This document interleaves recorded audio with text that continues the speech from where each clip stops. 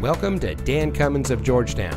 And here's a look at one of our many great vehicles for sale. And comes equipped with chrome bumpers, Park View rear backup camera, heated door mirrors, keyless entry, electronic stability control, air conditioning, tire pressure monitoring system, integrated voice command with Bluetooth, traction control, six speaker audio system, and has less than 55,000 miles on the odometer.